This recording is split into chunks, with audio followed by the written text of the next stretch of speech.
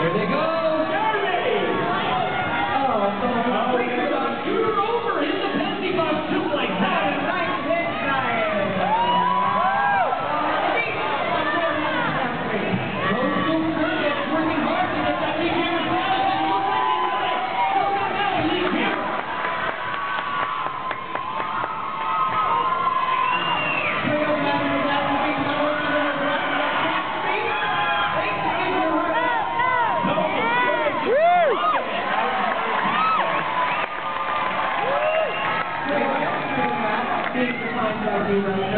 That's right. She's now in position to afford